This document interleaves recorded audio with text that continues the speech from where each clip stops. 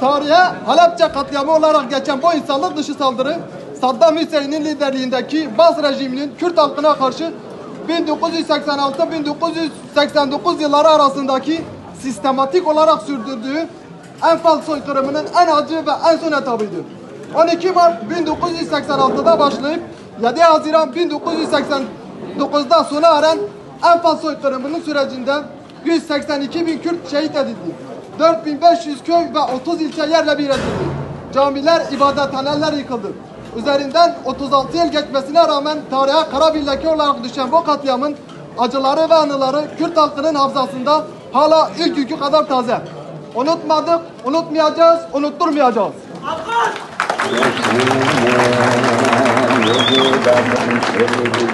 Alkış!